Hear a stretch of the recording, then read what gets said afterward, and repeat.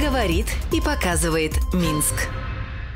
Добрый день. Действительно эксклюзивный комментарий по, к сожалению, чрезвычайному происшествию. Сегодня в районе трех часов ночи произошло обрушение пешеходной части моста возле станции метро Немига. Мост, э, проспект Победителей, перекресток с улицы Максима Богдановича. У нас в студии со самой последней информацией о ходе восстановительных работ Глинский Денис Владимирович, генеральный директор ГПО «Горремавтодор». Денис Владимирович, приветствую вас. Итак, первые вопросы, которые задают минчане, гости столицы, что произошло и из-за чего произошло? Здравствуйте. Ну, как вы сказали, уже с двух до трех часов ночи случилось это чрезвычайное происшествие. Наши службы уже в начало четвертого были на месте. Мы уже принимали решение. Обвалилась пешеходная часть этого мостового сооружения – Само это мостовое сооружение было построено в далеком 1962 году. Капитальный ремонт был в 2004 году и в 2017. В 2017 это был такой косметический ремонт. Делали перильную часть. Основные балки, Основные балки конструкции там затронуты не были. Поэтому что произошло, как произошло и почему. Значит, сейчас на месте работает Дорожный институт научно-исследовательский, работает Следственный комитет, и мы демонтируем то, что сейчас обвалилось. Нам неделю, неделю дали на демонтаж всего путепровода, и я думаю, что через несколько месяцев мы уже поедем по новому путепроводу. Принято решение вести параллельное проектирование и строительство нового путепровода. Для того, чтобы ускорить. Для того, чтобы ускорить, совершенно верно. Работы будут производиться в круглосуточном режиме, в трехсменном режиме. Денис Владимирович, ну вы сказали путепроводу или мосту 60 лет. Понятно, что советские технологии возведения подобных путепроводов э, давно и морально, и физически устарели. Они не были рассчитаны на такую транспортную нагрузку, которая сейчас есть э, в центральной части мегаполиса. Плюс э, это ведь не первый случай, когда вызывают вопросы наши мосты и путепроводы по всей республике. Тогда было дано поручение президента обследовать все подобные сооружения, которые насчитывают 30, 40 и более лет э, непрерывной эксплуатации эксплуатировался ли этот мост в соответствии с нормами и экспертиза была проведена?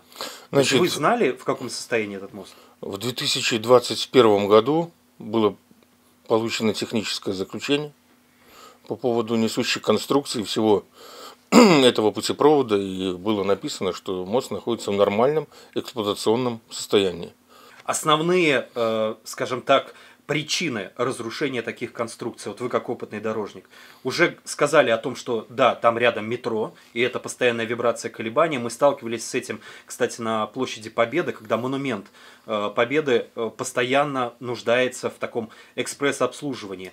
Плюс переходы через ноль. Дорожники, ваши коллеги часто говорят, что это самая серьезная нагрузка на железобетонные конструкции. Основными причинами этого всего разрушения, не только этого путепровода, но и всех предыдущих, это, конечно же, устарение тех конструкций, которые там сегодня. Балочные, ригельные системы.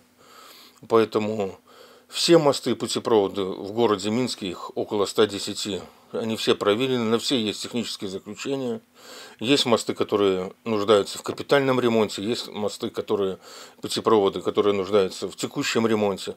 За всем за этим мы следим. Ну, так вот получилось и что получилось, в этом разбираются. Не только мы, как дорожники-мостовики, не только научно-исследовательский институт, но и Следственный комитет.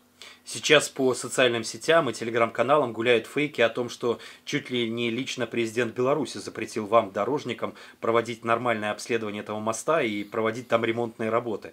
Понимаю, что звучит глупо и, и безумно, но все же отреагируйте. Нет, ну как-то я такой сплетни. первый раз слышу сегодня даже не было времени залазить э, в интернет в эти сплетни. Каждому инженерному сооружению города Минска уделяется немало времени и немало средств чтобы они эксплуатировались в нормальном техническом состоянии. А насколько сложные э, работы, вот объем их работ, э, понятно, что это центр города и сложно будет использовать такую габаритную дорожную технику. Насколько это все сложно? Я думаю, что это не и сложно, дорого. это не сложно, но будут, конечно, большие проблемы с движением с перекрытием движения. На несколько месяцев мы застопорим центральную часть города Минска. Будет выбрана организация заказчик, подрядчик, они, я думаю, уже сегодня даже уже определятся. Параллельное строительство и проектирование несколько месяцев и будет новый путепровод. Заместитель э, председателя горосполкома Александр Дорохович сказал, что в связи с ремонтными работами и восстановительными на этом участке а, откладывается э, ремонт э, путепровода на Жукова в связи с тем, чтобы действительно центр города совершенно не стал очень сложно объехать Немигу, каждый автолюбитель это прекрасно понимает. Скорее всего, это будет так, но на самом Жуково тоже необходимо уделить важное внимание этому, этому путепроводу. А в каком там состоянии? И вообще, как бы вы оценили аналогичные постройки? Вы постоянно их эксплуатируем? Ну, их постоянно эксплуатируют, но тот же самый путепровод на Жуково еще терпимо эксплуатировать еще можно, но под капитальный ремонт он уже попадает. Что ж, пожелаем вам удачи. Напомню, что специальный эксклюзивный эфир. У нас в гостях э, Денис Владимирович Глинский, генеральный директор Горьем Автодора. Спасибо и быстрого, скорейшего вам завершения этих важных работ. Этого ждет весь город и все минчане. Спасибо и приносим свои извинения. Говорит и показывает Минск.